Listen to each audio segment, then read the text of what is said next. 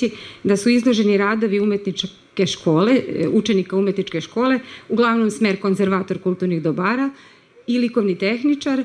Ja sam njihov mentor, sa njima sam radila četiri godine, i ovaj, rezultat njihovog rada možete videti na ovoj izložbi. U pitanju su uh, radovi nastali u više tehnika, sve su vezane za srednji vek, stare tehnike. Uh, ovde možete videti jednu fresku rađenu na malteru, portativnu, znači na nosiocu, uh, gde imamo susret Svetog Simeona i Svetog Save. Unutra u postavci ćete videti, na postavci ćete videti još osam uh, u istoj tehnici radova fresko tehnike. U pitanju su portreti uh, Romanovih i njihov zaštitni, zaštitnik sveti Sergije Radonješki. Pored znači fresko tehnike imamo i ikonu kao jajčanu, da, jaj, jajčanu temperu na dasci sa pozlatom.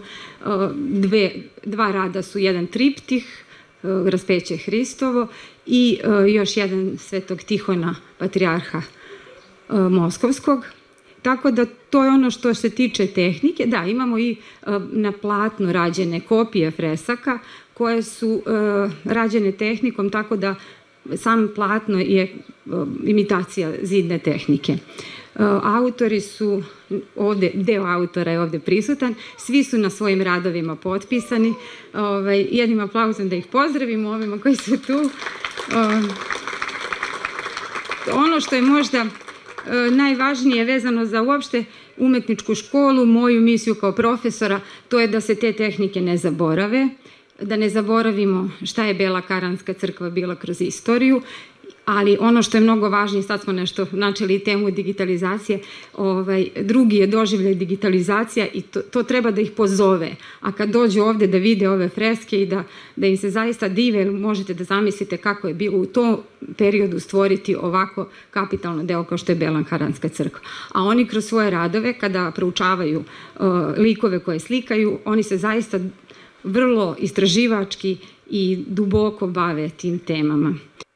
Kada te zemlja izmuči svojim paklom, ti pohitaj u hram. Uđi u njega i, gle, ušao si u raj. Ovako je govorio prepodobni Justin Ćelijski, a mi večeras to potvrđujemo. Dobroveče, dobri ljudi. Dobroveče. Posle trogodišnje pauze, evo nas ponovo u porti naše bele crkve, pod pokrovom Majke Božije, Bilo je svega u proteklom periodu.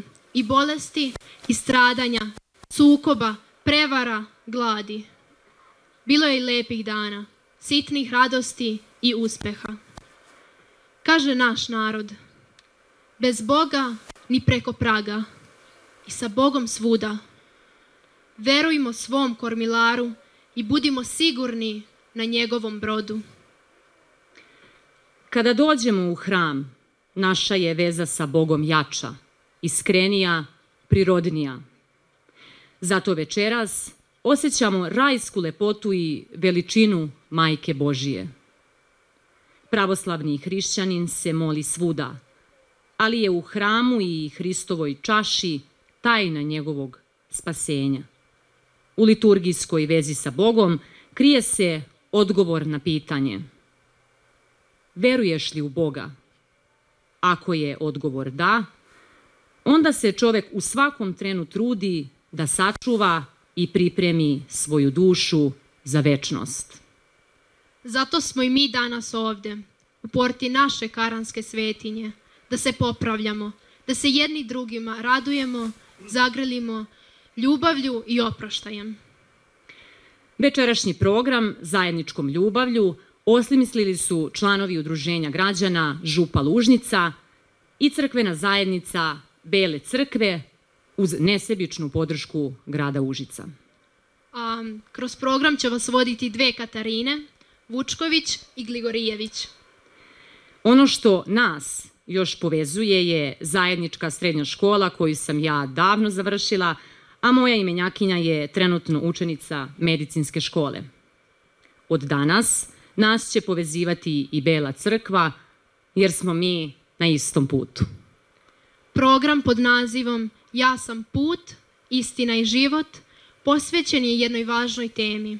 Moravskoj misiji Ćirila i Metodija, njihovom radu na prevođenju bogoslužbenih knjiga i širenju hrišćanstva. Program je posvećen i svima nama koji smo se prepoznali u ovoj Hristovoj rečenici i krenuli za njim.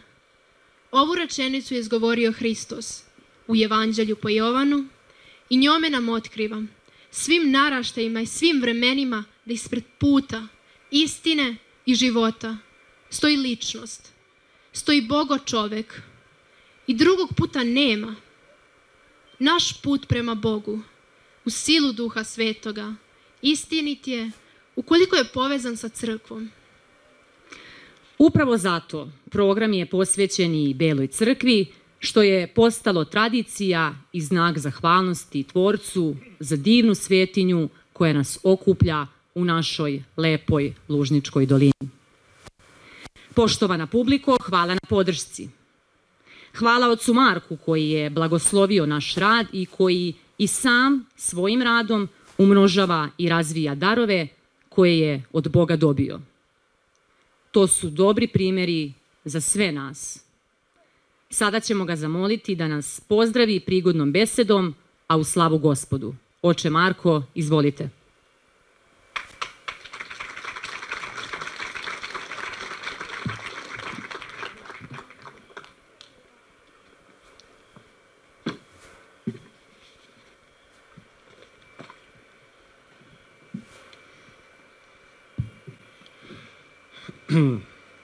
Ja sam put, istina i život. Evo upravo čusmo te reči. Okupljeni ovde, kako lepo rekoše naše voditeljke, u zagrljaju te reči, u zagrljaju ovaploćene reči, okupljeni u Beloj crkvi Karanskoj. Da učestvujemo u trpezi gospodnjoj. Trpeza gospodnja je beskrajna i može zasititi svaku glad čovekovu a najpre glad za smislom, glad za istinskim životom i glad za večnim postojanjem. E, okupljeni upravo oko trpeze te reči u ime gospoda Isusa Hrista, koji izrekao tu istinu o putu i večnome životu. Pozdravljamo se i molimo se gospodu, sabrani okupljeni i sjedinjeni. I u molitvi, i u jednomisliju, i u deljenju tog istog smisla. Evo upravo danas, na dan na praznik kada slavimo penje presvete Bogomajke, dan kada je ona otišla ocu svome, a i sinu svome koga je ovde na zemlji rodila. Dan takođe kada se sećamo misije svetih Kirila i Metodija 1160 godina od tada. I nešto više od četiri veka, nešto više od 400 godina, kako je ovde napisano Karansko ili Vukovo evanđelje. Eto već i to, nekoliko povoda i nekoliko razloga dovoljnih za mnogo razgovora, priča i beseda, pa čak i za mnogo knjiga. Samo Kirilo ili Metodije dovoljno je i previše. Dovoljno je i samo Karansko evanđelje, a da ne pričamo o Bogomajci i o spenju.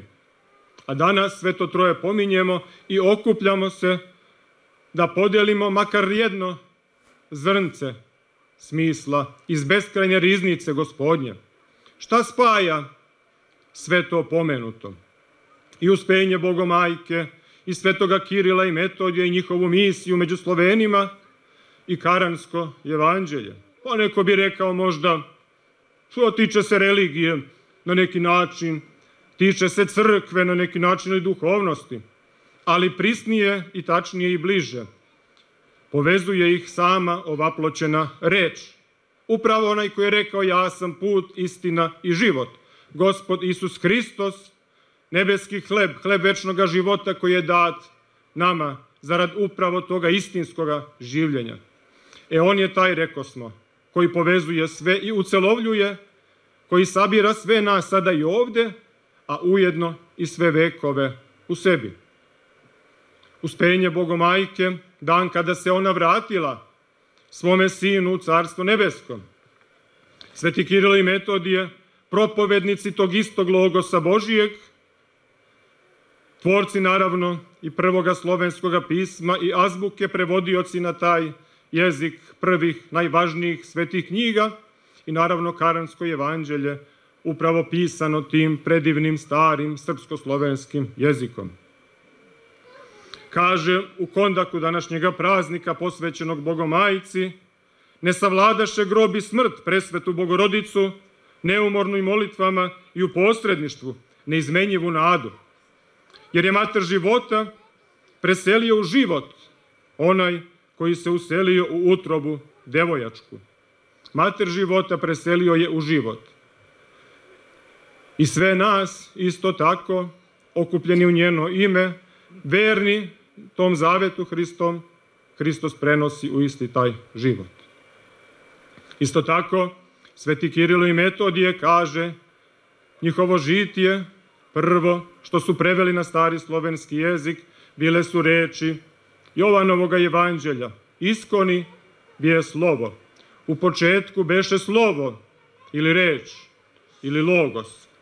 E upravo je to ovaploćeno slovo, ovaploćeni logos sam gospod Isus Hristos. On kaže beše u početku u Boga i sve kroz njega postade što je postalo. I u njemu kaže beše život i život beše svetlost ljudima, a ta svetlost svetli u tami i tama je neobuze.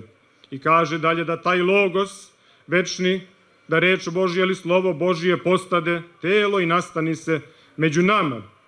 I videli smo, kaže, slavu njegovu, slavu kao jedinorodnoga od oca, punog blagodati i istine.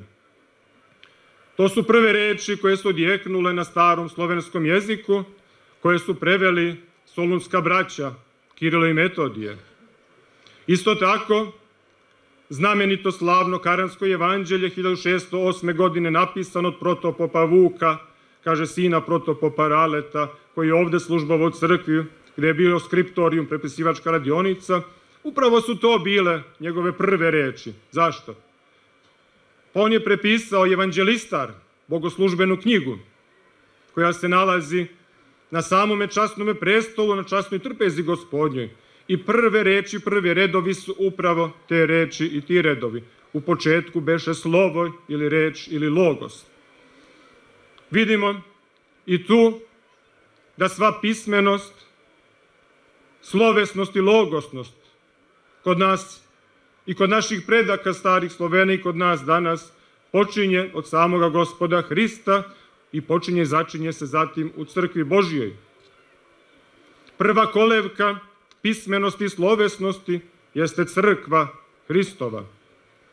Prvi nosioci pismenosti jesu sveštenici kaluđeri i zato su pogrešne, neistinite, duboko lažne reči kada se crkva naziva mračnim izdankom srednjeg veka. Daleko od toga, upravo crkva jeste blagovesnik svetlosti, slovesnosti i pismenosti. I Karansko evanđelje nam svedoči o tome, jedno u nizu predivnih spomenika naše stare pismenosti. Pomenimo Miroslavljevo evanđelje, Vukanovo evanđelje, Minhenski psalti, Rilovičku krmčiju, to je novokanon Svetoga Save. Pomenimo i Vujan, Nikoljsko evanđelje, Rujansko evanđelje, mnogo drugih starih predivnih spomenika, samo su kap u moru, koji su sačuvani. Nažalost, mnogo više ih je netragom nestalo u burnoj i tegobnoj istoriji našeg naroda. Izgubljeni, netragom nestali često, spaljeni od strane neprijateljske ruke. Ali evo Karansko evanđelje naime preteklo kroz sve ove vekove i svetli, kao što kaže, kao svetlost u tami, tama je neobuze. Čuva se u manastiru Nikolju, Ovčarsko-Kablarskoj klisuri, koji je tad bio jedan od centara upravo pomenute pismenosti, gde je cvetala prepisivačka škola. I u manastirima Ovčarsko-Kablarske klisure, i pre toga u začetnicima naše pismenosti, u kolevkama naše duhovnosti, u studenici Starome rasu, u Hilandaru, u Dečanima, studenici, na obalama Skadarskog jezera, Miholjskoj prevlaci i mnogim drugim manastiru Mileševi, pa sve do ovde, do svetoga Ahilija Arijskoga. Sve su to bili stari, drevni, znameniti centri prepisivačke delatnosti. i mnogi smo iznedrili predivne spomenike srpske rukopisne baštine. Karansko evanđelje, reko smo jedno od njih, upravo leži u toj tradiciji, u tradiciji poštovanja i služenja reči, služenja slovu, služenja višnjem smislu,